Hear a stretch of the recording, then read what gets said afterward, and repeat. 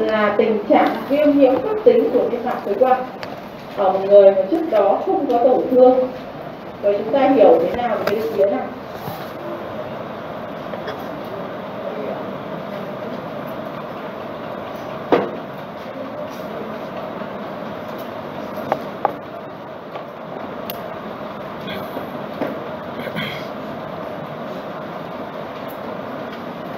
nào chúng Dạ, ta sẽ nhấn mạnh ở cái phần mà viêm mạc của một người mà trước đó không có tổn thương.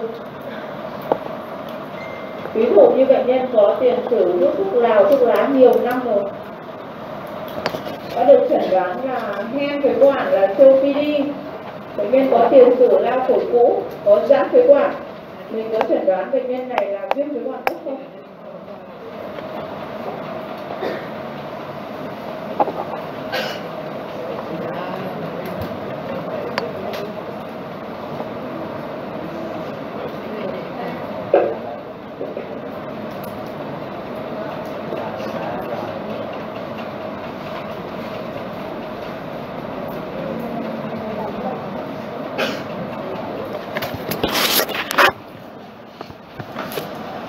quản của những bệnh nhân đấy là không bình thường. Khi chúng ta đặt bút chẩn đoán là bệnh nhân là viêm phế quản cấp thì phải tự ngầm hiểu với nhau cái bệnh này thậm chí là nó không cần điều trị thì nó cũng tự khỏi và nó lành tính đến mức như vậy. Và nó sẽ khỏi hoàn toàn. Thế còn ví dụ như mình à, những bệnh nhân uh, hen phế quản các bạn học bài hen phế quản hay châu phi gì chưa? À, chưa hen phế quản thì niêm mạc phế quản người ta bản chất là nó không bình thường. Lúc nào nó cũng ờ, cái phản ứng viêm nó cũng mạnh hơn người bình thường. Tình trạng co thắt luôn luôn nó thường trực. Tức là niêm mạc phế quản nó dày hơn, rồi nó nhiều những cái tế bào viêm hơn. Còn những bệnh nhân COPD thì luôn luôn có đấy là tình trạng. Thứ nhất là tổn thương phế quản, rồi tổn thương cả phế nang nữa. Thế còn những bệnh nhân lao phổi cũ thì mình tưởng tượng như là một cái sẹo ở ngoài da của mình nhé một cái kẹo xấu một cái kẹo to đúng rồi thì bây giờ trong phổi nó cũng vậy. Thì có chỗ nó sẽ tẹt có chỗ nó sẽ giãn. Nên là nó không bình thường. Còn những bệnh nhân giãn phế quản cũng tương tự. Đó là thành phế quản người ta đã không bình thường rồi. Khi chúng ta điều trị ổn được cái tình trạng viêm phế quản, thì nó vẫn trở về cái bệnh nền của bệnh nhân. Được chưa? Những bệnh nhân đã cấp COPD mà chúng ta hay gặp ở bệnh viện ấy đa phần cái bản chất mà cái đợt cấp, người ta vào chính là cái tình trạng viêm phế quản.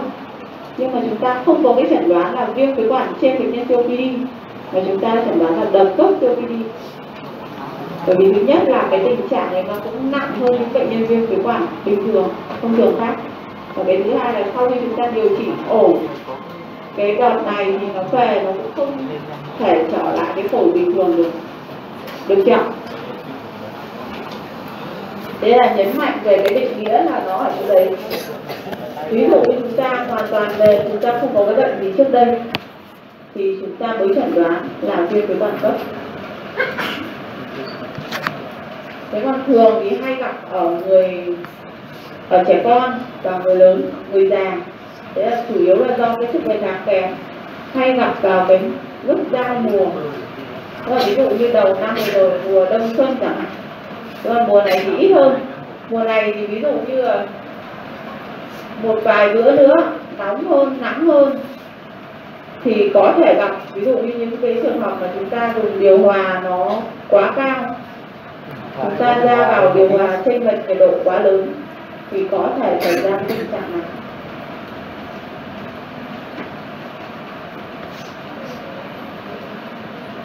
Tại sao nó lại có thể tự khỏi? Đấy là đa phần là do virus đấy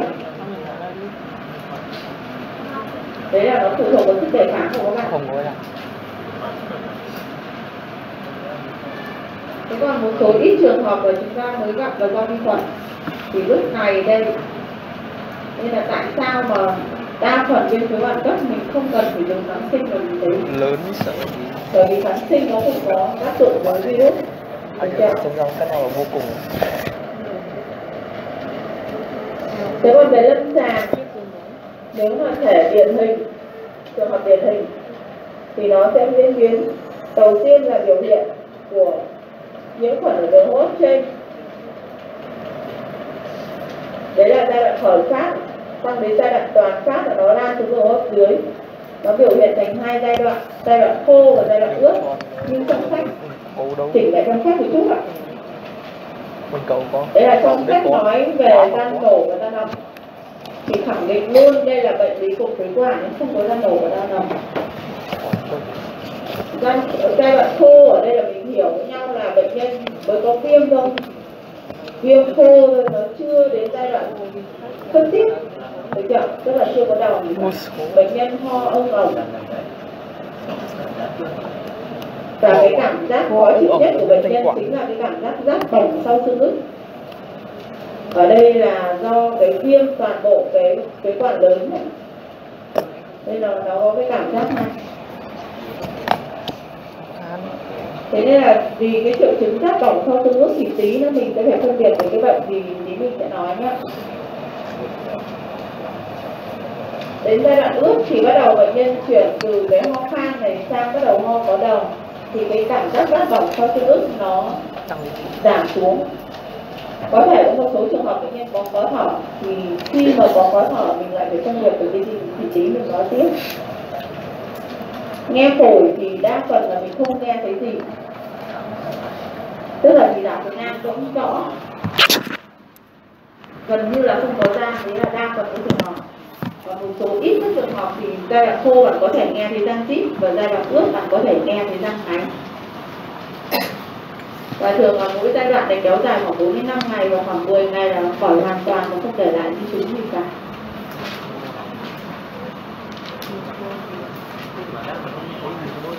Cái, cái, cái máy chiếu này. Nó không nhìn ra thì thì có tính cả hai phổi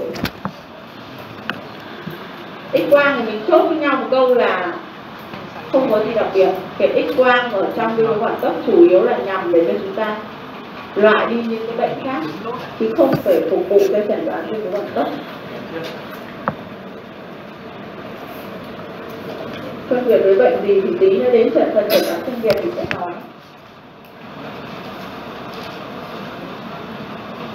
Về chẩn đoán chúng ta dựa vào nhất là lâm sàng và cận lâm sàng nó sẽ biểu hiện theo hai giai đoạn như vậy. X quang thì không thấy cái gì ngoài cái biểu hiện của dày thành phế quản. Xét nghiệm máu thì có thể có biểu hiện nhiễm khuẩn có thể nhé có thể phù hợp, nếu mà bệnh nhân có nhiễm khuẩn thì mới có biểu hiện nhiễm khuẩn còn nếu mà nhiễm virus thì không tăng ở cầu không tăng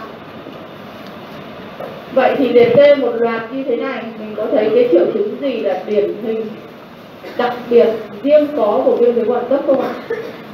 Không. Vậy mình chốt với nhau một câu, tiêu chuẩn chẩn đoán viêm phế quản cấp, đấy là chúng ta chẩn đoán loại trừ. Nó không có tiêu chuẩn chẩn đoán. Đây là một trong những bệnh mà chúng ta không có tiêu chuẩn chẩn đoán. Vậy thì trên lâm sàng mình biết loại đi cái gì để ra nó? Đấy là tùy bệnh nhân của các bạn. Nếu bệnh nhân của các bạn vào có biểu hiện đường hô hấp như vậy, nhưng mà kèm theo bệnh nhân có sốt rất là rõ, hội chứng nhiễm trùng rất là rõ, thì cái tình sợ nhất ở đường hô hấp, nhiễm khuẩn đường hô hấp đấy là viêm phổi. Thì mình sẽ phải loại đi cái viêm phổi thì còn lại là viêm phế quản được chưa viêm phổi ở đây thì dĩ nhiên là mình nghe phổi nó phải có có thể giai đoạn đầu nó sẽ có hội chứng đông đặc rồi gian ẩm à, gian nổ, rồi đến gian ẩm. Được chưa? Tức là tổn thương đến phế nang rồi. Thế còn trên x quang, mình sẽ phải nhìn thấy đám mỡ được chưa? Thì mình mới nghĩ đến viêm phổi, đúng không ạ? Thế còn cái trường hợp thứ hai mình phải phân biệt, đấy là phân biệt với hen phế quản. Trong trường, những trường hợp của bệnh nhân có khó thở. Chúng ta nghe phổi, có gian rít gian ngáy thì chúng ta thận trọng và chúng ta sẽ công việc biệt với hen phế qua. Thì lúc này mình sẽ phải lập lại cái tiền sử của bệnh nhân, xem là trước đây có những đợt nào có thở như thế này chưa? Tiền sử có dị ứng cái gì không? Gia đình có ai bị hen không? Và khẳng định hen hay không là chúng ta sẽ làm. Cho đo thông khí phổi và làm test phục hồi được quản được chưa? Cái này khi nào học bài hen thì các bạn sẽ biết bài hen và bài CPD là sẽ có tiêu chuẩn vàng. Cái thứ ba, cái nhóm bệnh thứ ba mà mình phải hay phải phân biệt, đấy chính là gọi hay là trào ngược dạ dày thực quản. Đây là từ tiếng anh viết tắt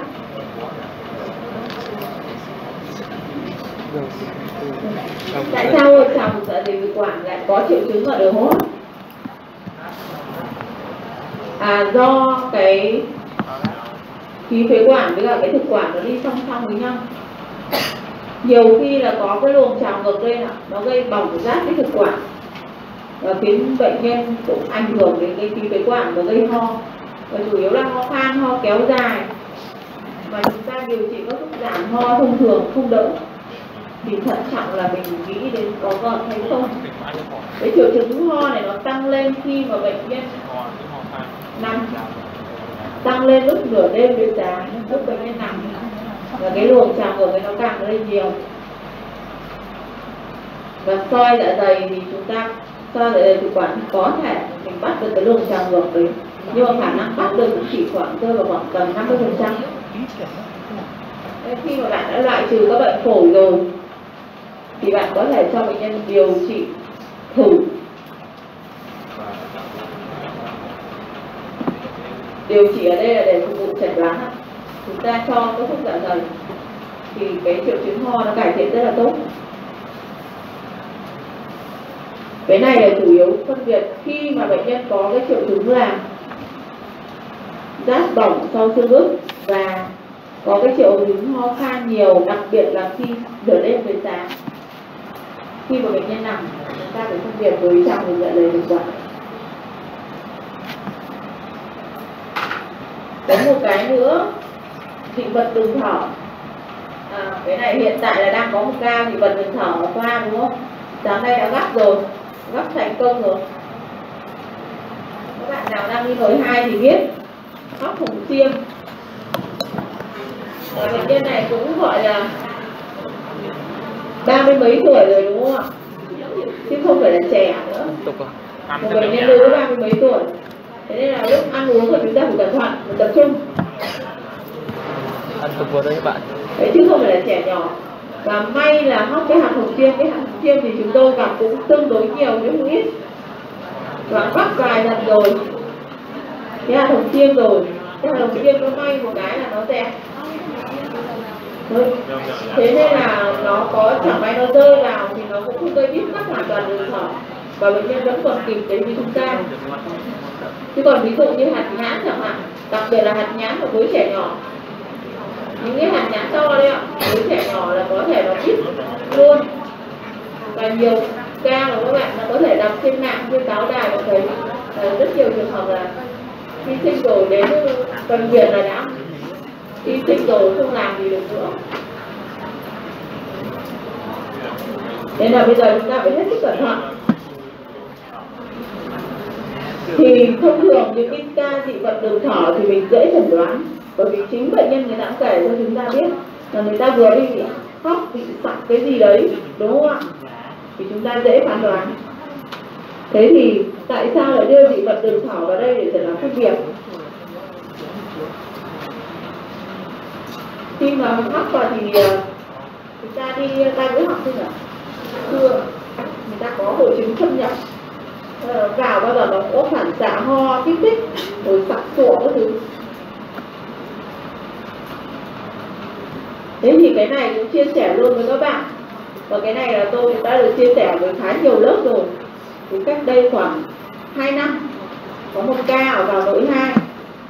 Và ca này thì cứ tái đi tái lại cái viêm phế quản.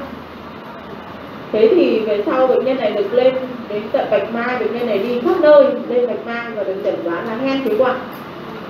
Bởi vì cái tình trạng viêm phế quản nó cứ tái đi, tái lại như thế. Mãi không khỏi, điều trị bao thuốc không khỏi. Cái bệnh nhân này được kê về điều trị hen, kiểm soát hen các thuốc xịt giãn phế quản các thứ rất là tốt, bệnh nhân tuân thủ rất là tốt. Bệnh nhân nhà có điều kiện tuân thủ tốt, thế nhưng mà bệnh nhân vẫn không thế thì vào viện thì chúng tôi cũng ờ, khám bệnh nhân nó cũng chiếu chụp bình thường, chụp x quang bình thường. Nghe phổi bệnh nhân thì có một cái bất thường ở bệnh nhân. Nó không giống như cái trường hợp hen khác. Đấy là nghe phổi nó lại có ra dít, nó khu trú ở một vị trí. Nó khác với cả những cái trường hợp khác là nó sẽ phải lan tỏa cả hai bên phế trường.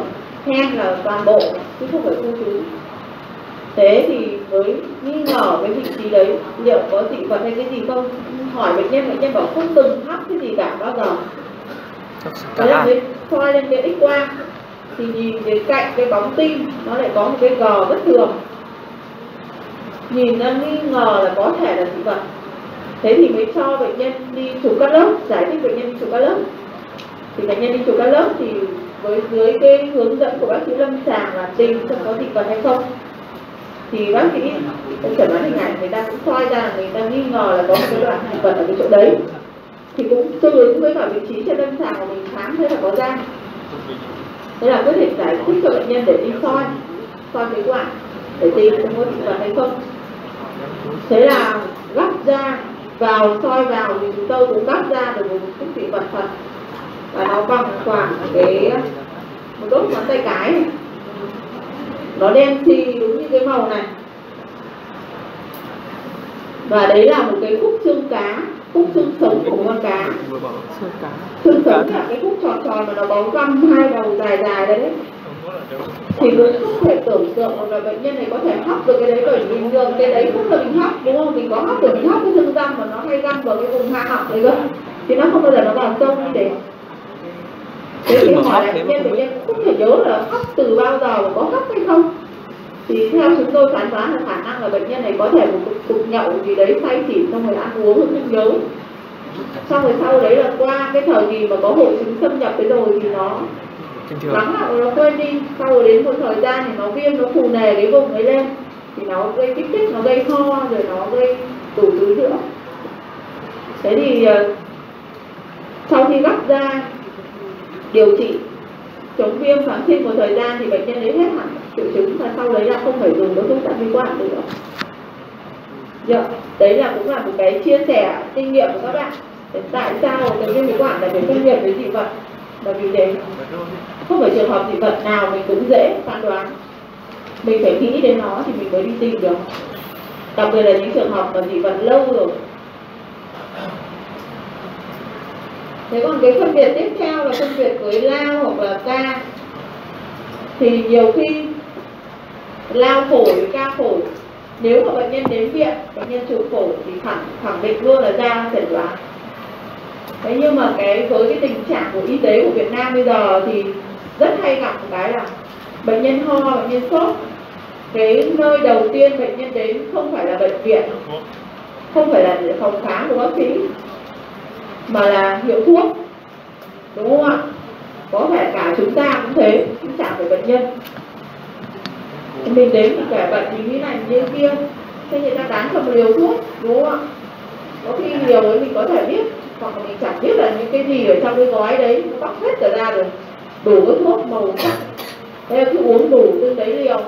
Nếu mà ổn, khỏi, thì bệnh nhân không đến viện với chúng ta. Chỉ khi nào uống mà nó không đỡ thì bệnh nhân mới đến viện thì lúc đấy thường là những cái giai đoạn muộn của ca hoặc là lao đã rất là rõ rồi. Được chưa thế là tại sao là khuyến khích bệnh nhân là mà chúng ta cũng thấy là định kỳ là phải khám sức khỏe. Nhiều khi là giai đoạn đầu của ung thư các thứ đặc biệt là ung thư phổi nó cũng chỉ biểu hiện giống như một cái viêm quản cấp thôi cái cuối cùng chính là phân biệt với cả đẳng cấp của suy tinh sung huyết. Tại sao lại phải phân biệt với nguyên tố quản cấp? Nó là hai mảng về tính khác nhau. Một đằng đó là về tim mạch một đằng đó là về phế quản. Hô hấp nếu các bạn còn nhớ thì triệu chứng của nhóm tim mạch nhóm bệnh lý tim mạch chúng ta cũng thấy là có ho, đúng không ạ? Có khó thở. Thì nó cũng na ná cái nhóm triệu chứng của hô hấp nhiều khi là cái suy tim nó nặng lên, nó cũng gây gây ho. Do cái tình trạng ứ huyết ở cổ, nó dẫn đến. Nên là chúng ta nhiều khi là bệnh nhân ờ, viêm phế quản có khi gặp ở lỗi hai không nhiều bằng ở tim mạch. Ở tim mạch gặp bệnh nhân viêm phế quản còn nhiều hơn ở lỗi hai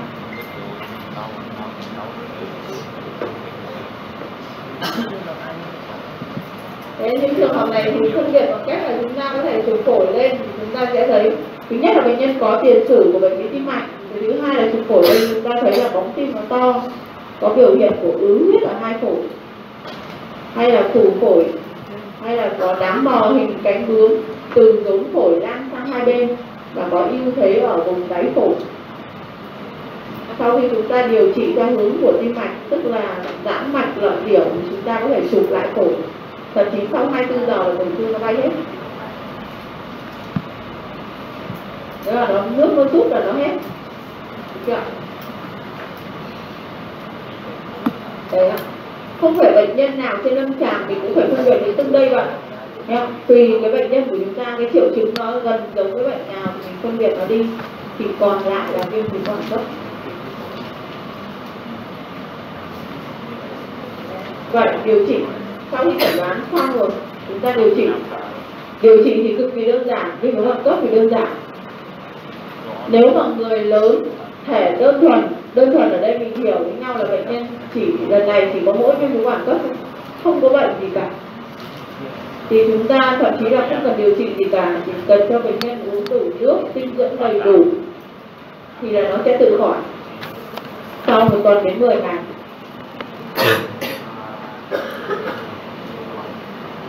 Thế còn uh, chúng ta có thể hỗ trợ bệnh nhân bằng cách điều trị triệu chứng. Ví dụ như bệnh nhân ho khan nhiều quá mình có thể cho giảm ho. Bệnh nhân khó hoạt đầu nghe phổi thì có thể nghi ngờ có đầu thì chúng ta nghe tiếng ho bệnh nhân có đầu chúng ta có thể giúp bệnh nhân bằng cách cho lăm đầu chẳng hạn cho uống nhiều nước ạ. Rồi nghe phổi mà có gian kíp gian ngáy thì mình có thể cho giãn khí quản. Tức là có tình trạng có thắt thực quản thì cho giãn khí quản khi nào thì bệnh nhân viêm phế quản cấp mới cần dùng kháng sinh ạ? Đấy, chúng ta có chỉ định ở trong sách rất là rõ ràng đúng không? Khi mà có một trong ba điều sau thứ nhất là ho kéo dài từ 7 ngày trở lên. Thứ hai là ho khạc đầm đục. Và cái thứ ba là bệnh nhân có những cái bệnh nền mạng tính đi kèm ví dụ như có suy tim có đái tháo đường. Nó sẽ có nguy cơ tăng cái nguy cơ bội nhiễm lên. Thế thì những bệnh nhân này chúng ta có chỉ định kháng sinh. Và cái kháng sinh của viêm phế quản cấp thì nó đơn giản. Chúng ta chỉ cần dùng một loại kháng sinh và kháng sinh đánh vào đường hô hấp là được. Chúng ta dùng ờ, uh, 3 đến 5 ngày chỉ chí là 7 ngày tùy từng trường hợp và chúng ta cho kháng sinh đường uống thôi. Đơn giản, nhẹ nhàng, với những cái trường hợp mà bệnh nhân khỏe, tỉnh táo, uống được. Thế thì trường hợp nào viêm phế quản cấp, bạn mới thấy cần phải nhập viện?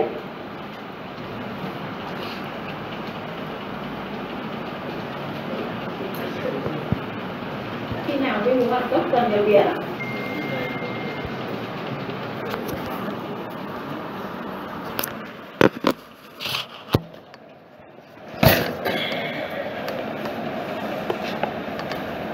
Rồi, ờ, thứ nhất là mình chưa làm viêm phế quản cấp thì mình sẽ phải nhập viện thứ hai là những trường hợp là cái tình trạng co thắt phế quản nhiều,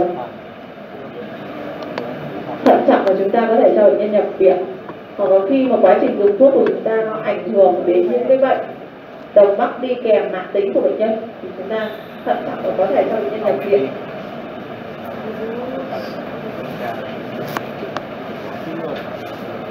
Thế còn ờ, ví dụ như những uh, ờ, cơ địa đặc biệt ví dụ như người già trẻ nhỏ với khả năng uống thuốc kém người lú lẫn thuốc gì đấy thì nhiều khi là chúng ta lại tự phải từ chuyển từ thuốc được uống sang thậm chí là tiêm. Các bạn nếu mà có con có cháu rồi gì đấy trẻ nhỏ nó rất là hay có cái biểu hiện đấy là nó ho nhiều tự nhiên là nó nôn. Đây là cái liều thuốc vào có thể là không đủ. Thậm chí là có những trường hợp này mình sẽ phải tiêm để đảm bảo được cái đủ cái liều thuốc vào cho bệnh nhân. Và thường là trẻ nhỏ thì cái tình trạng co thắt nó rất là mạnh. Tôi thấy là bên thì họ không có cái chẩn đoán viêm phế quản, đúng không ạ? Đặc biệt là cho những cái trẻ nhỏ dưới 2 tuổi, không có trẻ như vậy nó chỉ có viêm phổi hay không viêm phổi hay viêm phổi nặng đúng không? Là rất nặng. Kiểu quả bởi vì nó lan sang cái đường sang cái lan rất là nhanh do cái khả khả năng ho khạc của nó là gần như là không có. Và cái tình trạng co thắt phế quản ở những trẻ nhỏ nó cũng mạnh hơn. Đặc biệt là những bệnh nhân mà nó trẻ nhỏ thì cái trụ phế quản nó chưa phát triển tốt. Nó chỉ khó thở thôi. Thở dướng một tí thôi là đã thấy tít lên đường mầm thì những cái cơ địa đặc biệt đấy thậm chí là mình sẽ cho nhập viện sớm.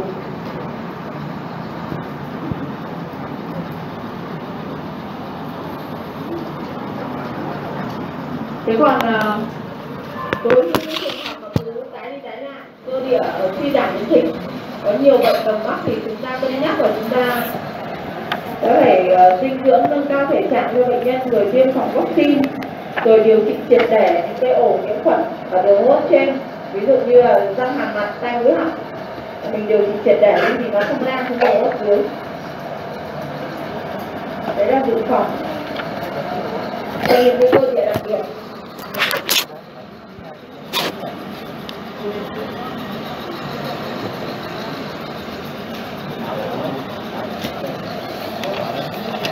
Đấy là toàn bộ cái bài viên luận tốt ạ. Có câu hỏi gì về viêm mũi họng cấp không ạ? là lợi không thể tắt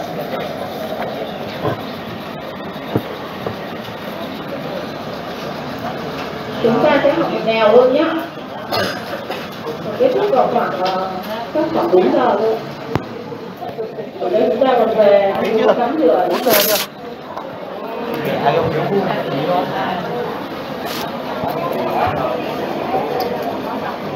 khu với mạng có công độ viêm với bản bất.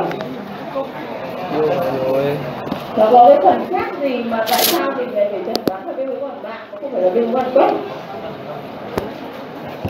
không còn là cô gái. Cục xúc như ngày xưa nữa bạn cũng biết yêu rồi lớn rồi. Nếu như các bạn có đọc những cái tài liệu của, của nước ngoài ấy, thì các bạn sẽ thấy người ta không còn cái cụm từ quản mạng nữa. Bây giờ chỉ có Việt Nam thôi bởi vì cái tài liệu xưa cũ thì mới có nói đến với quản mạng chứ còn bây giờ người ta xếp tất cả vào châu phi của bệnh phổi tắc nghẽn mạng tính và viêm phế quản nặng này nếu mà theo những cái gôn trước đây người ta xếp vào là gôn giai đoạn không. Chính là viêm không để người ta dự phòng sớm điều trị kiểm soát sớm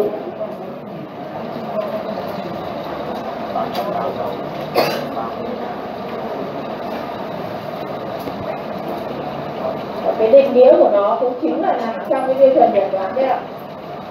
Nó là tình trạng tăng tiết dịch nhầy của niêm mạc phế quản. Biểu hiện bằng cái là trên lâm sàng chính là cái tình trạng ho hạt đỏ. Thường thì chúng ta hay hỏi bệnh nhân là một năm bác ờ, có mấy đồng ho hạt đỏ như thế này? Hoặc là cứ dở rời bác sĩ ạ mỗi đầu nó kéo dài bao lâu? đấy là cái mình hay gặp hỏi bệnh nhân. Và cái tình trạng này kéo dài mấy năm rồi. Thì thường là cái ho hoạt đầu ví dụ như những bệnh nhân là chúng ta có tiền sử hút thuốc lá thuốc lá nhiều năm. Khẳng định với các bạn luôn là tháng nào bệnh nhân ngủ dậy sáng nào ngủ dậy người ta cũng ho hoạt đầu và cái đầu nó trong như nước bọt thế nhưng mà Trong nếu như mà nước chúng ta không hỏi kỹ bệnh nhân gạt như chúng ta là người ta chẳng hề có tình trạng ho hoạt đầu luôn. Thế còn cái thể thứ hai là mình có thể gặp là nó thành từng đợt. Mỗi đợt khoảng 2 đến 3 tuần mỗi năm khoảng 2 đến 3 đợt vào cái lúc ra mùa đấy và kéo dài từ 2 năm trở lên rồi. Thì mình nghĩ đến viêm cái đoạn nặng đấy là tiêu chuẩn cần còn cái điều kiện đủ thì tí nữa mình sẽ nói nha. Ở đây là nguyên nhân hàng đầu dẫn đến siêu vi và viêm phổi nặng. Cái nguyên nhân hàng đầu dẫn đến đó chính là cái tình trạng hút thuốc lào thuốc lá, rồi là ô nhiễm môi trường. Thế là tại sao mà cái bệnh này nó càng ngày nó càng tăng? Bệnh hô hấp càng ngày nó càng tăng. Do điều kiện môi trường của chúng ta càng ngày nó càng kém.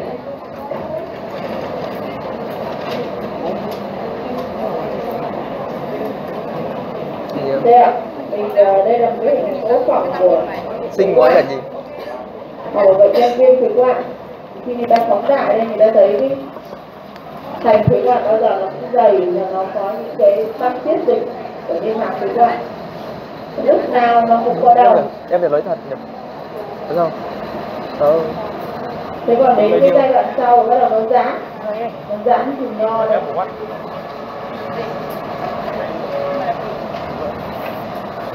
thường thì chúng ta gặp bệnh nhân viêm phế quản nặng đấy Đẩy là ở ơi. viện đấy là đợt Đẩy ra còn cái viêm phế quản nặng đơn Tối rồi. thường khi mà bệnh nhân ở nhà đấy thì bệnh nhân lúc nào bệnh nhân có tình trạng ho gặp đờm Thời lượng đờm cũng tương đối chứ không hề ít. Thế nhưng mà nếu mà chúng ta hỏi bệnh nhân ạ, không phải lúc nào người đã khạc ra đâu ạ. Nên là tại sao mà theo lý thuyết thì nó khoảng 200 ml một ngày Thế nhưng mà thực tế bệnh nhân đâu có nhiều như vậy. Tôi cái áo lớp mình bắt đầu thì ờ, nếu mà viêm phế quản mạng tính đơn thuần thì chỉ có ho hoạt đầu thôi ạ. Và chủ yếu là tập trung vào buổi sáng sau khi bệnh nhân ngủ cái tình trạng ho hoạt động này người ta gọi là ho hoạt động như cái kiểu rửa phế quản ạ. giống như chúng ta sáng dậy thì chúng ta phải rửa mặt. Thì bây giờ sáng ngủ dậy sau một đêm dài mất dịch có ứ động thì sáng dậy bắt đầu bệnh nhân ho hoạt động. Thôi dậy mấy ca và nó chỉ tập trung vào được vào lúc buổi sáng sau khi ngủ dậy. Còn trong ngày thì gần như là bệnh nhân không ho mới nhận đấy là biểu hiện của viêm phế quản nặng. Thế nếu như trong ngày bệnh nhân cũng cứ ho hoạt động như thế, cũng nhiều như thế thì chúng ta phải đi đến bệnh khác, ta dậy từ không? Từ Chúng ta 0,65 phải điểm lên được 6 điểm giỏi không lớp mấy mấy 4 triệu mấy mấy Thế còn trong đợt cấp thì cái triệu chứng ho hoạt động nó sẽ tăng triệu lên, á? đầu nó sẽ à, làm 20 và kèm theo là bệnh nhân có thể 0,25 có thở. 0,5 điểm phổi như 6 này chúng ta sẽ có cái Bạn tôi để đâu hết tiền. Phí được trả là bốn triệu. tùy. để đâu hết tiền đây và cái hội chứng nhiễm trùng thì thông thường là mình sẽ thấy nó kín đáo ở những bệnh nhân mà có tình trạng viêm nhiễm mạng tính rồi thì thường là cái thằng lớp chín tôi biểu lại hiện không biết nó thi được mấy nó không rõ không ràng. À đâu. Sáu hay bảy gì đấy.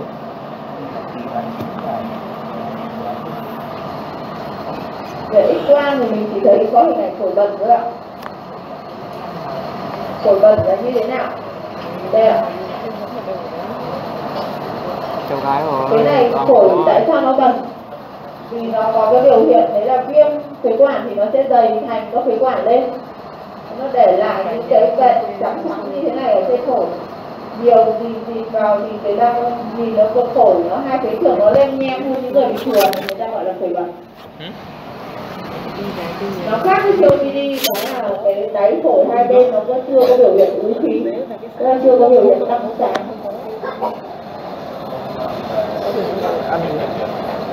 ăn chuẩn chẩn đoán viêm phế quản nặng thứ nhất là vừa nói đến cái điều kiện cần được. Đấy là không hoạt động mạng tính. Cái điều kiện đủ ở đây là kèm theo là có x quang là chúng ta chỉ nhìn thấy hình ảnh phổi bẩn mà không thấy biểu hiện nào khác. Và cái là đo chức năng không khí phổi thì vẫn bình thường. Cái này để giúp chúng ta loại đi cái COPD tức là bệnh nhân chưa sang đến giai đoạn của COPD tức là FEV1 trên FVC vẫn trên 70 phần trăm. Đấy là điều kiện đủ để chẩn đoán viêm phế quản nặng được chưa? Sớm rồi tổ không chịu được? Và sớm rồi tổ không chịu được. Thế còn phân biệt ở đây là chúng ta sẽ phải phân biệt với những trường hợp mà có tình trạng ho và dài không khác quá gì sao thì cái một cái bệnh lý mà hay gặp nhất của ho kéo dài, đấy là lao phổi, đúng không ạ? Thì bệnh nhân sẽ thường là sẽ có hội chứng nhiễm lao, đấy là có ho kéo dài này, có gầy sút cân này, có sốt nhẹ về chiều. Ở x quang có thể thấy tổn thương ở vùng bình phổi đấy rồi là làm AFP đồng thì có thể tìm thấy vi khuẩn lao. Được chưa? Đấy, phân biệt nữa, đấy là phân biệt với hen phế quản cái hen này là thường là cái hen không điển hình nó không biểu hiện thành cơn khó thở mà nó lại biểu hiện thành từng cơn ho. Thì cái này trong bài hen thì sẽ nói kỹ cho các bạn những trường hợp hen không điển hình thế rồi phân biệt với ca phế quản. Giống như cái bài viêm phế quản cấp vừa rồi nó cứ viêm ờ, biểu hiện thành từng đợt viêm phế quản cấp, nó cứ tái đi tái lại. Nhiều lần thì thận trọng là có ca hay không thế rồi là giãn phế quản. Giãn phế quản là một trong những bệnh lý mà hay phải phân biệt với viêm phế quản nặng nhất, bởi vì nó cũng có cái tình trạng ho hoạt động kéo dài như thế, vài năm rồi. Thế nhưng mà so với viêm phế quản nặng thì cái lượng đầu nó nhiều hơn rất nhiều. Thậm chí là có ngày nó có thể ho đến nửa lít đầu 500 ml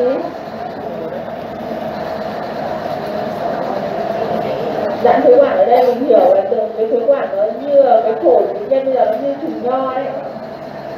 Các phế nang bây giờ nó không chứa được khí mà nó chỉ có chứa dịch mủ đòn nó thành những cái ổ microarthria thế nên là nó rất nhiều đòn và không bao giờ nhân hết được. Thì cái tình trạng ho hoạt đờm ở đây là nó sẽ ho hoạt đờm cả ngày, chứ không phải chỉ có buổi sáng như nguyên các bạn nào và nghe phổi thì lúc nào mình cũng có thấy cái gian ẩm nó khu trú, gian ẩm, gian nổ. Thường là hay gặp gian nổ hơn. Nó khu trú ở một cái vị trí. Tương ứng với trên x quang thì có thể có tổn thương của giãn phế quản. Đấy là hình kính mờ kính mờ trong covid 19 các bạn thế còn về điều trị tính thân vận cấp thì ờ, nó điều trị giống như cái phế loạn cấp tức là bệnh nhân có ho hợp đồng, nhiều, có hợp đồng thì cho lăn đòn có co thắt phế quản cho giãn phế quản. Cái tình trạng viêm nhiễm nhiều, thậm chí mình có thể cho cả corticoid và cái chỉ định kháng sinh thì nó mạnh tay hơn là viêm phế quản cấp ạ. Tức là đã chẩn đoán là đợt cấp của viêm phế quản mạng thì chắc chắn là bạn sẽ cho kháng sinh. Bây giờ chứ không phải chúng ta không phải trò là là đúng hay là ho kéo dài trên 7 ngày nữa vì ho kéo dài trên 7 ngày chắc chắn bệnh nhân có rồi. Thế còn ngoài đợt cấp thì chúng ta chỉ cần dự phòng dự phòng tốt ở đây là quan trọng nhất là nếu như bệnh nhân có hút thuốc lá thuốc lá thì bỏ ngay, bỏ càng sớm càng tốt. Khi mà bệnh nhân bỏ thuốc lá thuốc lá thì cái phổi, chức năng phổi nó không phục hồi được về bình thường đâu ạ nhưng mà nó sẽ dừng lại ở cái mức tổn thương đấy thôi. Nó không tiếp tục tiến triển nữa. Đấy là lợi ích của cái việc bỏ thuốc lào thuốc lá.